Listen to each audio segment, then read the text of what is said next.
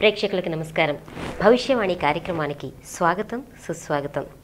మనతో భవిష్యవాణి గురించి చర్చించడానికి భవిష్యాచార్య డాక్టర్ నరసింహాచార్యులు గారు మనతో లైవ్లో ఉన్నారు.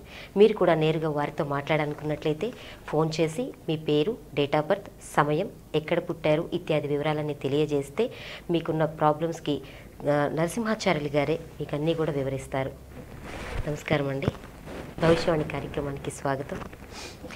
గురుగారు ఆ జ్యోతిష శాస్త్రానికి కర్మ సిద్ధాంతానికి గల సంబంధం ఏంటి? అసలు ఆ రెండింటి మధ్య ఏంటి? శ్రీ గురుభ్యో నమ. శ్రీ రాజమాత్రే నమ. మెట్రో టీవీ ప్రేక్షకులకు భవిష్యవాణి. అదృష్ట శుభోదయం.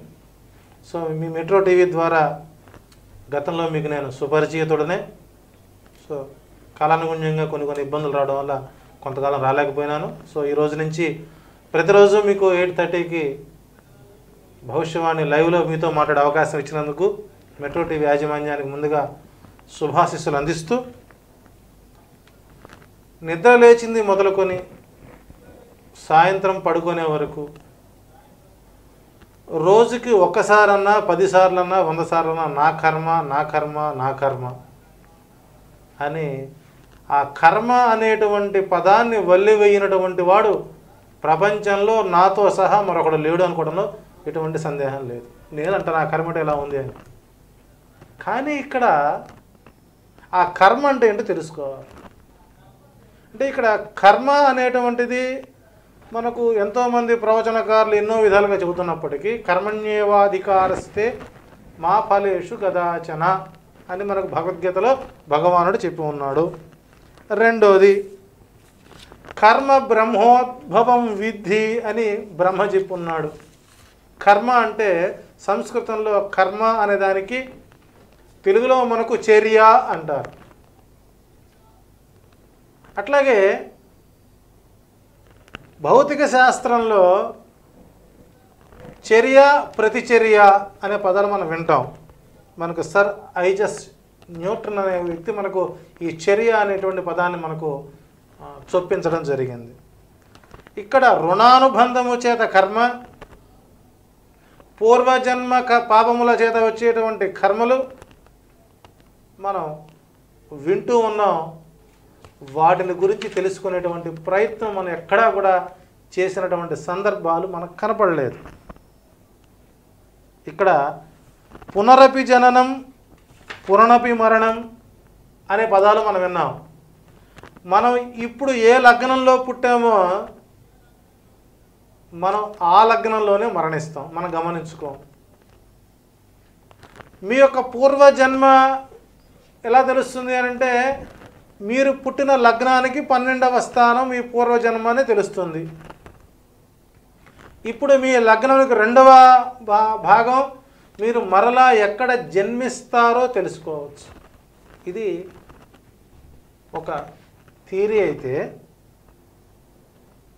మనకు మూ జ్యోతిశాస్త్ర ప్రకారం మనం మూడు రకాల కర్మల్ని మనం తీసుకోవాలి. మేడం.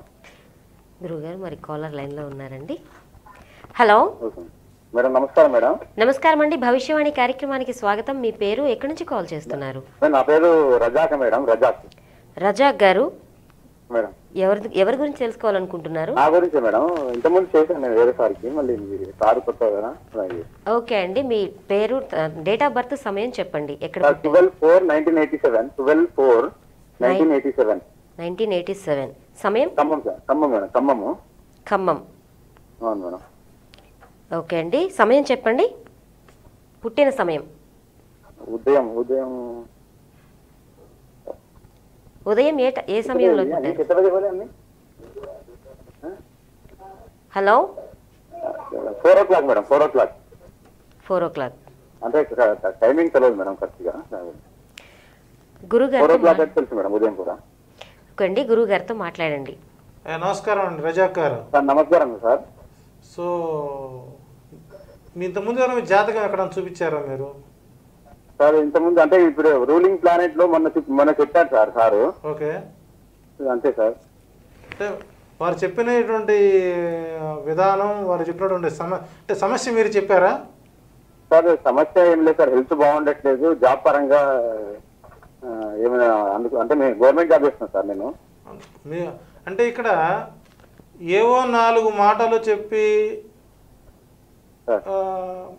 చెప్పి ఇదే జా జ్యోతిష్యం అనుకోవటం అనేటువంటిది మీకు తెలిసినటువంటి నిజం. కానీ సమస్యను గుర్తించి ఆ సమస్యకు కారణం ఏంటి? అసలు ఆ సమస్య మీకు ఎందుకు వచ్చింది? ఏ పీరియడ్ నుంచి వచ్చింది? ఏ పీరియడ్ వరకు ముగుస్తుంది? దానికి మనం ఏ దిశగా వెళితే మన సమస్య పరిష్కారం అవుతుందని తెలుసుకోలేకపోవడం మన సమయం తక్కువగా ఉంటుంది. కానీ భవిష్యవాణిలో కొంత బ్రీఫ్గా చెప్పేటువంటి ప్రయత్నం చేద్దాం. ఎవరు కూడా కాలర్స్ ఎవరు కూడా మీ సమస్యల్ని అడగద్దు దయచేసి. మీ date of birth time of birth place of birth వరకు చెప్పండి. మిగిలినటువంటి అంశాలు నేను చూసుకుంటా. అది నా డ్యూటీ. ఏది మీ ఇప్పుడు మీరు చెప్పారు నాకు నాకు గవర్నమెంట్ ఎంప్లాయీ అండి నాకు ఆరోగ్యం బాగలేదండి ఏదైనా ప్రమోషన్ కావాలని మీరు సమస్య అడిగారు అనుకోండి దానికి ఆ, జ్యోతిష్యుడు చెప్పాల్సిన అవసరం లేదండి. మా యాంకర్ మేడం కూడా మీకు ఆరోగ్యం బాగుంటుందండి హాస్పిటల్లో చూపించుకోండి మీకు ఉద్యోగాలు ప్రమోషన్లు వస్తాయి ఇవన్నీ కామన్ కాబట్టి ఏ కాలర్ కూడా సమస్య చెప్పకుండా ఉండి మౌనంగా కనుక మీరు ఉండగలిగితే జ్యోతిష్యుడి యొక్క ప్రజ్ఞ వాడి సబ్జెక్ట్ బయటకు వస్తుంది. పంతొమ్మిది వందల ఎనభై ఏడవ సంవత్సరంలో పుట్టినటువంటి మీ డేట్ ఆఫ్ బర్త్ ప్రకారం ప్రస్తుతం మీకు జాబ్ సాటిస్ఫాక్షన్ లేదు. రెండవది రెండు వేల తొమ్మిదవ సంవత్సరం మార్చి పదమూడవ తారీఖు నుంచి మీకు అనుకూలం కాదు. రెండవది మీలో ఉన్నటువంటి ఓపెన్ హార్ట్ అంటే మీరు మాట్లాడే విధానం మీలో ఉన్నటువంటి ఆంతరిక రహస్యాలు మీరు స్నేహితులకి షేర్ చేసుకోవడం అది కొంత మీకు ఇబ్బందికరంగా మారుతుంది. స్నేహభావ పరిస్థితులు బంధుప్రీతి కొంత ఆ, ఆర్థిక ఇబ్బందులకు గురవుతున్నారు. యాక్చువల్గా ఈ జాతకం మరి వ్యాపారం మీద ఆసక్తి ఉన్నటువంటి జాతకం. ఆ దిశగా వెళ్ళడానికి మీకు ప్రభుత్వం ఉద్యోగం ఒక ప్రతిబంధకంగా మారింది. సో అనుభవపూర్వకమైన వ్యాపారం చేయడానికి సహకరించే వ్యక్తులు మీకు లేరు. ఇటు బంధువులు కానీ ఇటు మిత్రులు కానీ మిమ్మల్ని అవసరానికి వాడుకునే వాళ్ళే తప్ప ఇది వాస్తవం ఇతను సహాయం చేయాలి అనే భావన ఉన్నవాళ్ళు ఎవరూ లేరు. ఇది మీ సమస్యలు అవునా కాదా? అంటే కొంచెం ఉన్నాయి సార్ అందులో. సో ఈ జాతకానికి రెండు వేల పదహారు మే ఇరవై ఆరో తారీఖు నుంచి మీకు అనుకూల వాతావరణంగా ఉంటుంది. సార్ అది జాబ్లో మరి ఇప్పుడు ఆల్రెడీ గవర్నమెంట్ జాబ్ చేస్తున్నా సార్. నేను వేరే ఎగ్జామ్ కాంపిటీషన్ ఎగ్జామ్ రాస్తున్నాను సార్. నూటికి నూరు శాతం ప్రభుత్వ రంగ ఉద్యోగంలోనే అభివృద్ధి పదమైన మార్కులకు వెళ్ళే అవకాశాలు ఉన్నాయి. ఫర్దర్ ఎగ్జామినేషన్స్ రాసుకోవచ్చు మీకు అవకాశాలు ఉంటాయి సార్ ఎప్పటి నుంచి ఉన్నాయి సార్? మేబీ రెండు వేల పదహారు మే నుంచి అనుకూలంగా ఉందండి. అదే డేట్ డేట్ మేబీ గురుగారు చెప్పినట్లుగా మీరు తెలుసుకున్నారు కదా మీకున్న సమస్య ఏంటో గురుగారు చెప్పారు కదా మీకు కూడా ఏదైనా సమస్యలు ఉన్నా ఏది తెలుసుకోవాలనుకున్నా కూడా మీ డేట్ ఆఫ్ బర్త్ సమయం పుట్టిన తేదీ ఇత్యాది వివరాలన్నీ కూడా తెలియజేస్తే మీకున్న సమస్యలు ఏంటో గురుగారు వివరిస్తారు. స్క్రీన్ పైన కనిపిస్తున్న నంబర్స్కి నేరుగా కాల్ చేసి అపాయింట్మెంట్ తీసుకుని నేరుగా కూడా కలిసి మాట్లాడవచ్చు గురుగారితో. గురుగారు మరొక కాలర్ లైన్లో ఉన్నారండి. హలో. హలో నమస్కారం. నమస్కారం అండి. భవిష్యవాణి కార్యక్రమానికి స్వాగతం. మీ పేరు ఎక్కడి నుంచి కాల్ చేస్తున్నారు?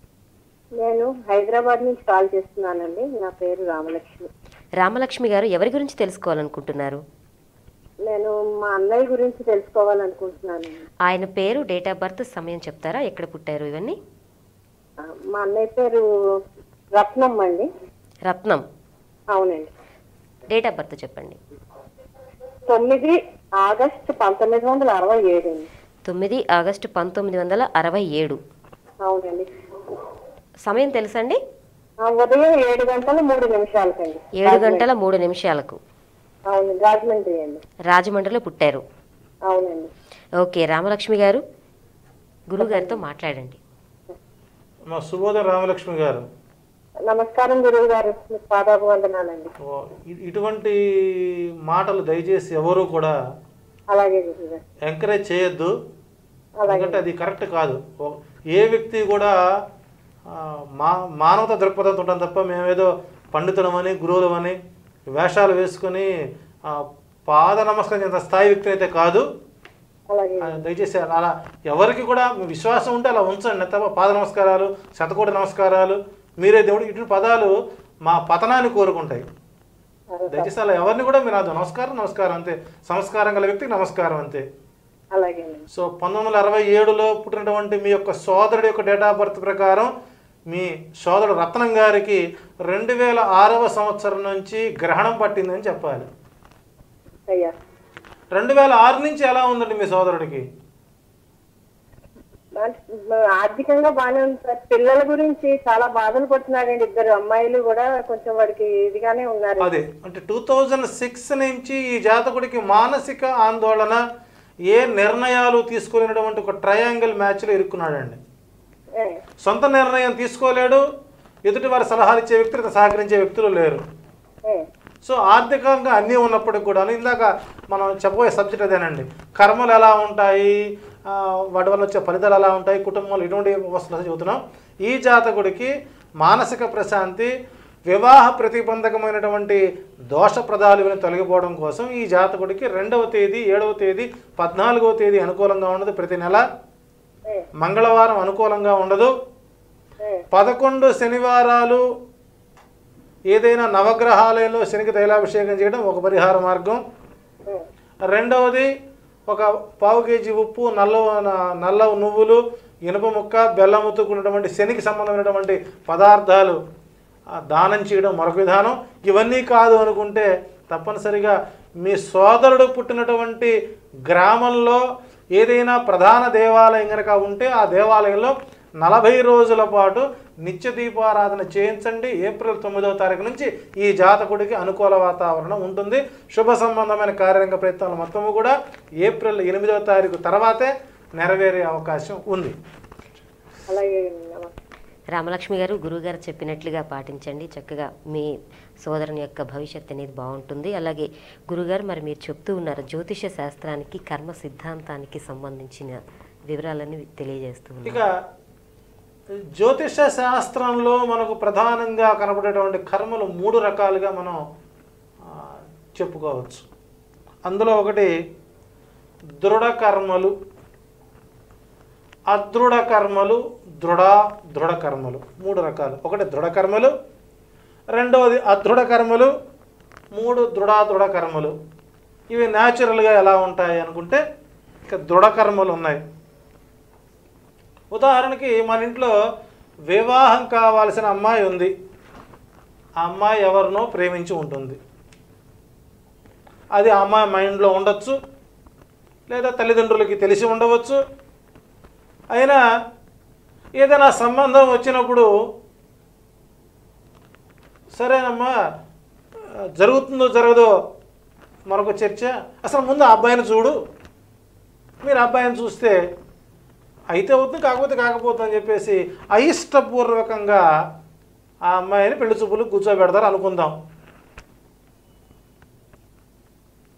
కానీ ఈ అమ్మాయి మనసులో ఉన్నటువంటి వ్యక్తి అవతల వ్యక్తిని చూడబుద్ధి కానివ్వదు కానీ చూస్తుంది. ఆ చూసిన వ్యక్తి నేను ఎమ్మాయిని చేసుకుంటాను అంటే అయిష్టపూర్వకంగా కూర్చున్న అవతల వ్యక్తికి పూర్తి స్థాయిలో ఈ యొక్క రూపురేఖలు కానీ లక్షణాలు కానీ కలవడం వలన ఆ వివాహం జరుగుతుంది. దీన్ని దృఢకర్మలు అంటారు. రెండవది మనం దారి వెంట వెళుతూ ఉన్నాం. అందరూ సుఖ ప్రయాణం చేయాలనే కోరుకుంటాం. మనం ఎంత జాగ్రత్తగా వెళ్ళినా ఎదుటివాడు జాగ్రత్తగా వస్తాడు అనేది అబద్ధం.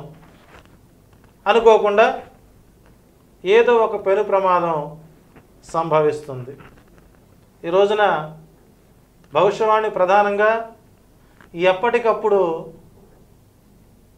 ఈ సమయంలో జరిగేటువంటి ప్రధానమైనటువంటి గ్రహస్థితులు కొన్ని చెప్పేటువంటి విధానం ఉంది కాబట్టి ఇప్పుడు సమయం తొమ్మిది ఎనిమిది గంటల యాభై ఐదు నిమిషాలు అవుతుంది. మరికొద్దిసేపట్లో ఫార్మాసిటీ కంపెనీల్లో ఏదో ఒక మెడికల్ కంపెనీలో రియాక్టర్స్ పేలడం ఒకరిద్దరు వ్యక్తులు సజీవంగా మరణించడం జరుగుతుంది. మరికొద్దిసేపట్లో ఇదే విషయం అన్ని ఛానల్స్లో స్క్రోలింగ్ రావడం జరుగుతుంది. రెండోది సాయంత్రం ఆరున్నర టు ఎనిమిది గంటల మధ్య కాలంలో ఓఆర్సి ఔటర్ రింగ్ రోడ్డులో వాహన ప్రమాదాలు జరుగుతాయి రక్తసిక్తం అవుతుంది రోడ్లు ఈ రోజున. ఈ రెండు పాయింట్స్ రేపటి రోజున జరిగినాయో లేదో మీరు టీవీలో చూడండి. వాళ్ళు జరిగి ఉన్నట్లయితే మీరు చూడకపోతే మేము దాన్ని బలాని ఛానల్లో బలాని టైంలో వచ్చిందని మీకు నేను వివరంగా అంతే పరిచయం ఇవి అంటే ఇక్కడ మనం ప్రయాణం వెళ్ళేటువంటి సమయాలు ప్రయాణం క్షేమంగా చేయాలనుకుంటాం దానికి పది మొక్కులు మొక్కుతాం పూజ చేస్తాం కానీ కొన్ని కొన్ని అవాంఛనీయ సంఘటనలు తెలియకుండా జరుగుతాయి అన్ఫార్చునేట్ జరుగుతుంటాయి. వాటిని ఏమంటారంటే ప్రారంధ కర్మలతో కూడినటువంటి దృఢ కర్మలు అంటారు. మనం పోతుంటాం పిడుగుపడుతుంది మనం అనుకుంటామా? అదే అనుకోకుండా ఒక వరద వస్తుంది అనుకుంటామా? కాబట్టి కొన్ని అయిష్టపూర్వకంగా వచ్చేటువంటి కర్మలు ఏమంటారంటే దృఢ కర్మలు అంటారు. ఒకరిద్దరు కాలం తర్వాత అదృఢ కర్మలు అంటే చెప్పుకుందాం. మరొక కాలర్ లైన్లో ఉన్నారు గురుగారు. హలో. హలో. నమస్కారం అండి. భవిష్యవాణి కార్యక్రమానికి స్వాగతం. మీ పేరు? హారిక. హారిక గారు ఎవరి గురించి తెలుసుకోవాలనుకుంటున్నారు? నా గురించేనండి. మీ డేట్ ఆఫ్ బర్త్ సమయం ఎక్కడ పుట్టారో చెప్పండి. Second September. Second September. Nineteen ninety four. Nineteen ninety four. Rajampet. Time time చెప్పండి. ఎక్కడ పుట్టారనేది టైం చెప్పాలి. Morning one twenty early morning. అంటే సెకండ్ మార్నింగ్ వన్ ట్వంటీకి అండి ఎర్లీ మార్నింగ్. ఓకే అండి. రాజంపేటలో పుట్టారా? రాజంపేట. ఓకే అండి. మీరు గురువు గారితో మాట్లాడండి హారిక గారు. ఓకే అండి. ఏ, నమస్కారం అమ్మా. నమస్కారం అండి. Date of birth? రెండు సెప్టెంబర్ పంతొమ్మిది వందల తొంభై నాలుగు. డెబ్భై? తొంభై నాలుగు. తొంభై నాలుగులో పుట్టారు మీరు. అవునండి. సో తొంభై చెప్పచ్చా విషయాలన్నీ? ఏంటండి? హారిక గారు మీ విషయాలన్నీ చెప్పొచ్చా అని అడుగుతున్నారు లైవ్లో జాబ్ జాబ్ వస్తుందా మీ క్వశ్చన్స్ ఏం బిటెక్ అడగాల్సిన అవసరం. లేదమ్మా. మీకున్న సమస్యలు ఏంటో సమస్య వివరిస్తానంటున్నారు మీరు చెప్పారు కాబట్టి ఇక మీతో మాట అవసరం కూడా నాకు లేదు. ఎందుకంటే సమస్యను గుర్తించేవాడిని నేను. అంటే ఇది ఇది ప్రతి ఒక్క కాలర్కి అలవాటైపోయింది. ప్రతి ఛానల్లో జ్యోతిష్యులు మీ సమస్య ఏంటో యాంకర్ చేత అడిగిచ్చి వాళ్ళు సమాధానం చెప్పించి మేమే జ్యోతిష్ అనుకోవడం వాళ్ళ దౌర్భాగ్యం అది నా దౌర్భాగ్యం. దయచేసి భవిష్యవాణిలో చెప్పేటువంటి కాలర్ తప్పనిసరిగా date of birth time of birth place of birth మాత్రమే చెప్పండి. ఆల్రెడీ మీరు మీ సమస్య మీరు మీరే బయట చెప్పుకున్నారు. ఈ జాతకానికి ఉద్యోగం అనేటువంటిది కానీ విదేశీ యానం కానీ కెరియర్ కానీ వివాహ సంబంధమైనటువంటి ప్రతిబంధక దోషాలు కానీ ఇవన్నీ మీకు నివృత్తి అవ్వడం కోసం రెండు వేల పదహారు మే ఐదో తారీఖు వరకు వెయిట్ చేయవలసిందే. ఆ తర్వాత ఒకసారి మాట్లాడండి. ఓకేనా హారిక గారు? గురుగారు చెప్పినట్లు. గురుగారితో నేరుగా లైవ్లో మాట్లాడలేని వారు స్క్రీన్ పైన కనిపిస్తున్న నంబర్స్కి కాల్ చేసి అపాయింట్మెంట్ తీసుకుని నేరుగా కలిసి మాట్లాడవచ్చు. గురుగారు మరి ఇప్పుడు చెప్తున్నారు కర్మల్లో కూడా మూడు రకాల సిద్ధాంతాలు ఉన్నాయన్నారు కాలర్ లైన్లో ఉన్నారండి. Sir hello? హలో? నమస్కారం అండి మీ పేరు? సత్యనారాయణ ఎవరి గురించి తెలుసుకోవాలనుకుంటున్నారు? మా గురిందేనండి సత్యనారాయణ గారు డేట్ ఆఫ్ బర్త్ చెప్పండి. పదమూడు తొమ్మిది పంతొమ్మిది వందల డెబ్బై ఒకటి. పదమూడు తొమ్మిది పంతొమ్మిది వందల డెబ్భై ఒకటి. అవునండి. సమయం చెప్పండి. రాత్రి పది ముప్పై రాత్రి పది ముప్పైకండి అవునండి. ఓకే అండి. ఎక్కడ పుట్టారు? విశాఖపట్నం విశాఖపట్నం. ఓకే అండి. సత్యనారాయణ గారు గురువు గారితో మాట్లాడండి. సత్యనారాయణ గారు హలో సార్. మీరు ఎక్కడి నుంచి మాట్లాడుతున్నారు? వైజాగ్ అండి. వైజాగ్ నుంచి మాట్లాడుతున్నారు. యాక్చువల్గా మీ డేట్ ఆఫ్ బర్త్ మీకు కొద్దిగా జాతక అనుభవం ఉండాలి మీకు? కొద్దిగా ఉంటుందండి అందే మొత్తానికి ఉంది? లేదండి నాకు అనుభవం అసలు తెలుసు కొంత సబ్జెక్ట్ తెలుసుకున్నారు కదా మీరు? అంటే ఈ ప్రోగ్రెస్ ద్వారా చూసే కొద్ది కొద్ది తెలుసుకున్నాను. ఓకే. పంతొమ్మిది వందల డెబ్భై ఒకటవ సంవత్సరంలో పుట్టినటువంటి డేట్ ఆఫ్ బర్త్ రీత్యా మీరు ఏదైనా జీవితంలో ప్రశాంత వాతావరణ జీవితం గడిపారంటే మీ వయసు ముప్పై రెండు సంవత్సరాల వయసు వరకు మాత్రమే. అవునా? అవునండి. సో మీ థర్టీ టూ ఇయర్స్ ఏజ్ నుంచి అంటే ఇప్పటికి సుమారు మీకు నలభై నాలుగు సంవత్సరాల వయసు ఉంటుంది. అంటే గత పన్నెండు సంవత్సరాల నుంచి కూడా మీరు ఆర్థికంగా అటు మానసికంగా ఇటు బంధుపరంగా ఇటు సహోదరుల పరంగా కొంత ఆర్థిక ఒడిదుడుకులు ఎదుర్కొన్న మాట వాస్తవం. అవునండి. అంటే ఇక్కడ ఒక వ్యక్తి యొక్క జాతకంలో జీవితంలో ఎప్పుడైనా సరే పద్నాలుగు సంవత్సరాల పాటు కష్టాలు పడవలసిందే. దాన్ని నువ్వు కాదు కదా ఆ బ్రహ్మదేవుడు కూడా తప్పించలేడు. సో ఇంకా మీకు ఆ కష్ట సమయం రెండు వేల పదహారో సంవత్సరం ఆగస్టు వరకు కొనసాగుతుంది. సో తప్పనిసరిగా ఆగస్టు వరకు కొద్దిగా వెయిట్ చేయండి. చక్కగా హనుమాన్ చాలీస పారాయణం చేసుకోండి విశ్వసనామ పారాయణం చేయండి దేవాలయ ప్రదర్శనం చేయించండి దేవాలయంలో పూజలు చేయించండి. తప్ప దానాలు ధర్మాలు రాళ్ళు రత్నాలు రప్పలు ఇవేం పెట్టాల్సిన అవసరం లేదు. మీకు త్వరలో నెక్స్ట్ మంత్ నేను వైజాగ్ మనకు ఆఫీస్ ఉంది. డాబా గార్డెన్స్లో ఒకసారి కలిసే ప్రయత్నం చేద్దాం. గురుగారు చెప్పినట్లుగా మీకు చేసుకోండి చక్కగా. తర్వాత మంచి ఫలితాలను పొందండి. గురుగారు మరి మీరు చెప్తున్నారు కర్మ సిద్ధాంతంలో కూడా మూడు రకాలు ఏదో చెప్తూ ఉన్నారు. అంటే ఇక్కడ జ్యోతిష్ శాస్త్రంలో కర్మలు మనం మూడు రకాలుగా చెప్పుకుంటున్నాం. ఒకటి కాయక కర్మలు. దృఢ కర్మల్లో వచ్చేటువంటిది కాయక. కాయము అంటే శరీరం. శరీరము చేత చేసేటువంటి కర్మలు కొన్ని అంటే చర్యలు కొన్ని అంటే తెలిసి చేసిన కర్మే తెలియక చేసిన కర్మే. మానవుడు తన ఆలోచనను తనకు తానుగా చేసుకున్నటువంటి కర్మ. అయ్యా నువ్వు ఈ- ఒక డేట్ ఆఫ్ బర్త్ ప్రకారం నువ్వు ఈ ఎడ్యుకేషన్కి వెళితే బాగుంటుంది నువ్వు ఈ రంగంలోకి వెళితే అభివృద్ధి అవుతావు ఈ పరిహారం చేసుకుంటే బాగుంటుంది అని మనం చెప్పినప్పుడు దాన్ని ఆచరించకుండా తన ఇష్టానుసారం చేయడం వాళ్ళ మానసిక చర్య. కాబట్టి ఒక వ్యక్తి శుభకార్యం చేసినా వాడి మనస్సును బట్టే ఉంటుంది. మనకు ఎక్కడో అంటారు స్వర్గం నరకం అంటారు. స్వర్గం ఎక్కడో పైన ఉంటుందంటే అక్కడ ఇంద్రుడు ఆ, దేవతలు అందరూ ఉంటారు. వాళ్ళతో నాట్యం ఆడచ్చు అమృతం తాగొచ్చు అక్కడ మనం దాని ఉంటారు మన పబ్బుకి వెళ్ళినట్టుగా ఉంటుంది అంటారు అది అబద్ధం. రెండవది నరకంలోకి వెళ్తే అనేక కష్టాలండి ఎముడుతో యమదూతలు ఉంటారు చంపేస్తారు ఏగిస్తారు పొడుస్తారట ఇది అబద్ధమే. కలియుగంలో స్వర్గం నరకం మన శరీరంలోనే ఉన్నాయి. మన మనసే స్వర్గం మన మనసే మనకు నరకం. మన మనసు ప్రశాంతంగా ధర్మబద్ధంగా ఆలోచిస్తే అది స్వర్గం. మన మనసు అధర్మం వైపు వెళితే అది నరకం. కాబట్టి మనసు యొక్క కాయము చేసేటువంటి పని ద్వారా వచ్చేటువంటి ప్రతి ఆలోచన తత్ఫలితం మంచి అయితే స్వర్గం చెడైతే నరకం. సో కాబట్టి శరీరం చేత చేసే కర్మలు చాలా జాగ్రత్తగా పని చేసుకోవాలి. ఇక మూడవది వాచక కర్మలు. అంటే వాచకము అంటే మాట్లాడడం. వాక్ ద్వారా చేసేటువంటి కర్మ. దైవజ్ఞులు పెద్దలు వారు చెప్పే సూచనలు వినటం. వారు మనల్ని ఆశి ఆశీర్వదించే విధంగా మనం ప్రవర్తించడం. మన కష్టాన్ని సుఖాన్ని వాళ్ళతో పాలు పంచుకోవడం.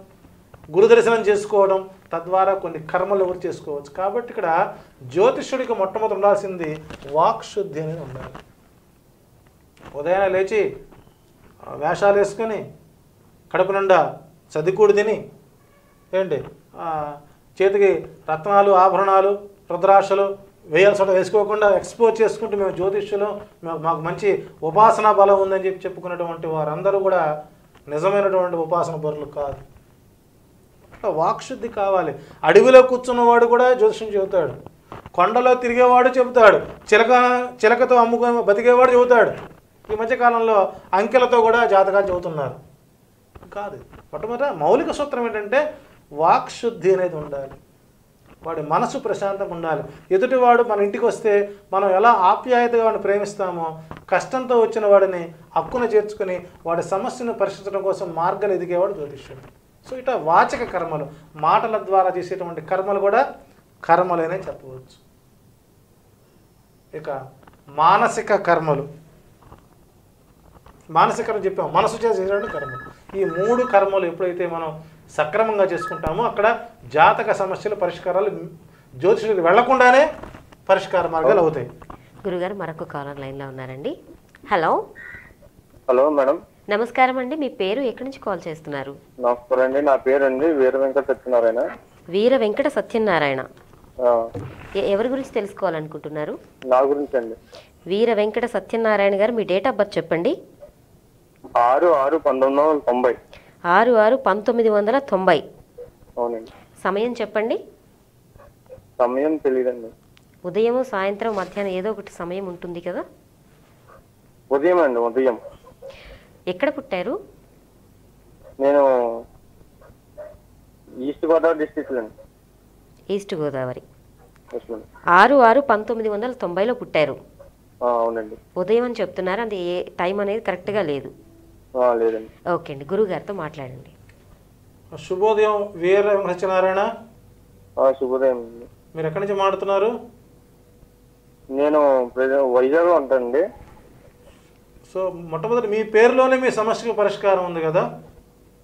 నేను వైజాగ్లో ఉంటాండి నేను పుట్టింది తూర్పుగోదావరి జిల్లా. అంటే ఇక్కడ మనకు పెద్దలు పెట్టినటువంటి పేరులోనే మన పరిష్కార మార్గాలు దొరుకుతాయి.